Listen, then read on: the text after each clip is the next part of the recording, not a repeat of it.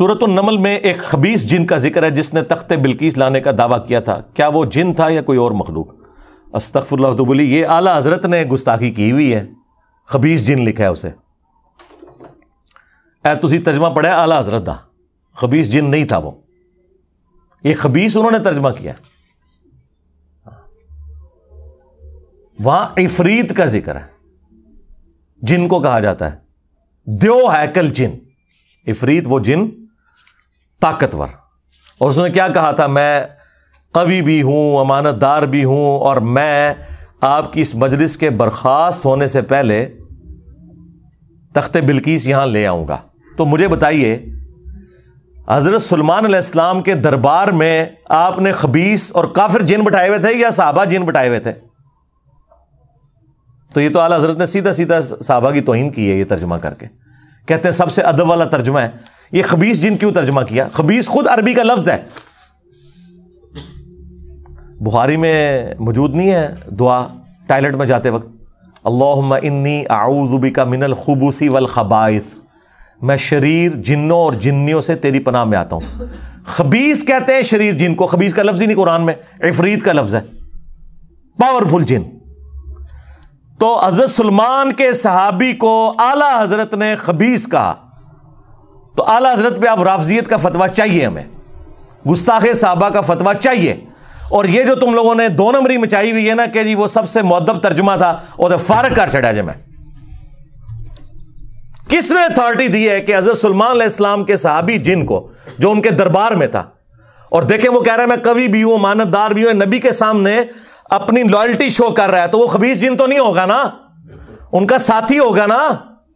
हाँ खबीस जीन उनके दरबार में क्या कर रहे हैं? लॉजिकली आप मुझे बताएँ। और अगर खबीस था तो हज़रत सलमान इस्लाम कह देते कि बैठ जा, तू तो खबीस जिन है। उन्होंने तो ये नहीं कहा। उन्होंने सिर्फ़ ये कहा कि मुझे इससे भी जल्दी चाहिए। तो फिर हज़रत आसिफ बिन बरखिया जो इसराइली किताबों में मिलता है सुनसाइल कुबरा के अंदर भी मौजूद है। आसिफ नाम का एक शख्स था, जो सूर्य नबल में आया कि उसके पास किताब का इल्म था। उसने कहा कि मैं आपकी पलक झपकने से पहले वो ले आऊँगा और वो ले आया। इसमें मेरी तफसीली वीडियो देख लें, इसमें से जो इन्होंने अपने सूफिया की जो कहानियाँ साबित करने की कोशिश की है, मैंने पूरी इंजीनियरिंग की है इस वाक्य की। वो आप जाके देखें, तख्ते बिल्किस वाला वाक्य भी, मूसा और खजीर इस्लाम वाला वाक्य भी, एक एक शैतरत इनकी मैंने खोली हुई है, वो आज टॉपिक नहीं, वरना और तरफ़ चल पड़ेगा। तो वो ले आए और उसमें भी देखें, हज़रत सलमान इस्लाम ने यह नहीं कहा कि हज़रत बड़े पहुँचे बुजुर्गो, उन्होंने कहा, हाजा मिन फजली रब्बी। ये मेरे रब का फजल है और वो चाहता है कि मुझे आजमाए कि मैं उसका शुक्र करता हूँ या ना शुक्री करता हूँ। हज़रत सलमान इस्लाम ने उसके इस करतब को, जो आपके नज़दीक करतब है, हमारे नज़दीक करामत है, उसको इसके साथ नहीं जोड़ा कि इसने कोई कमाल किया क्योंकि उन्हें पता था कि ये अल्लाह का फजल है। और वो फजल हज़रत सलमान इस्लाम की वजह से ही था।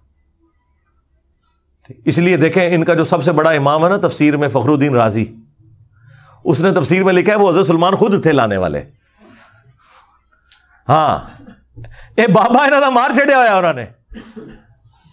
और फखरुद्दीन राज़ी कहते हैं हज़रत सलमान खुद लैके आए सन। जरा आंदा ना कि एक बंदा जिसके पास किताब का इल्म था, वो कहते वो खुद सी, क्योंकि किताब का इल्म तो पैगंबर को तो वो खुद हज़रत सलमान ही थे जो तख्त लेके आ गए थे। इनकी मंजिल ठोक गए इमाम फखरुद्दीन राज़ी। हम नहीं वैसे उनके साथ एग्री करते। ये अलग से कोई बंदा था।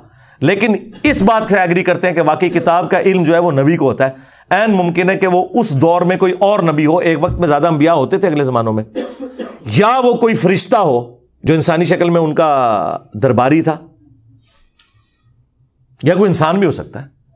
इससे बाबे नहीं साबित होते। ये कहते हैं जी, वो तख्ते बिल्किस आ गया। अच्छा जी हूँ रफेदैन करना छड़ दिए तख्ते बिल्किस आ गया। मनु दसो रफली दैन दी हदीसा का तख्ते बिल्किस के ताल्लुक है। आप इनको बताएँ ना कि नबी इस्लाम इस तरीके से नमाज़ पढ़ते थे तो वो कहते हैं, वो तख्ते बिल्किस आ गए तुम बाबे नहीं मनते ये ना सब तो बड़ा बाबा अब्दुल कादर जिलानी और दूसरा बड़ा बाबा इमाम गजाली। दो रफुलदैन के साथ नमाज़ का तरीका लिखे गए हैं गुनीत तालबीन में और किमिया सादत में हयालूम के अंदर। बाबिया के बाबे ने जड़े ये आपके जो बाबे सरकार है, लोकल बाबे दे इन्होंने बाहर कोई नहीं जानता इक्का दुक्का लोग जानते हैं।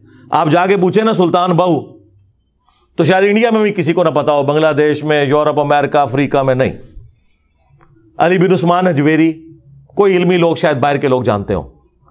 लेकिन दो बाबे ऐसे हैं जिनको दुनिया में जहाँ जहाँ बाबों के मानने वाले मौजूद है ना, इस प्लेनेट अर्थ पे जहाँ भी मौजूद हैं, वो सारे लोग जानते हैं, वो इंटरनेशनल बाबे हैं। नंबर वन इमाम मोहम्मद गजाली अल मुतवफ़ा फाइव ज़ीरो फाइव हिजरी आज चल रहा है चार रमज़ान चौदह सौ चवालीस हिजरी। तो ऑलमोस्ट नौ सौ साल पहले। क्योंकि उनकी कंट्रीब्यूशन है, उन्होंने किताबें लिखी। एहयाउलूम लिखी, मिनाजुल आबदीन मुकाशफतुलकलूब कीमिया सादत अलमुनकजुमनदलाल में उन्होंने अपनी लाइफ स्टोरी भी पूरी बताई हुई।